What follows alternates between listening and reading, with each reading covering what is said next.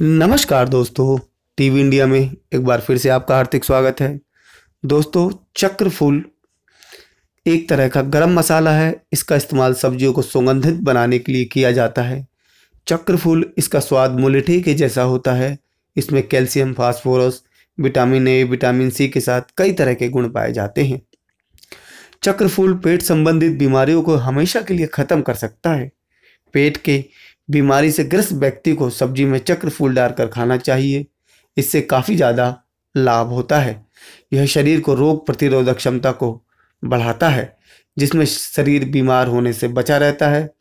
अगर शरीर के किसी हिस्से में चोट लग जाए या फिर सूजन आ जाए तो तुरंत चक्र फूल का तेल लगाने से ठीक हो जाता है। किसी भी मौसम में होने वाली सर्दी खांसी में इसे खाना काफ़ी लाभदायक होता है।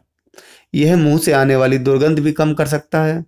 चक्र फूल की चाय पीने से दर्द, सूजन, एसिडिटी, गैस कब्ज और अपच की समस्या से राहत मिलती है। चक्र फूल पाचन शक्ति को बढ़ाता है।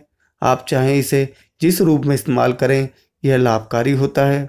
तो दोस्तों, यदि आप चक्र फूल के बारे में जानते हैं, यह एक मसाला है जिसे आप अपने सब्ज़ी के साथ प्रयोग कर सकते हैं।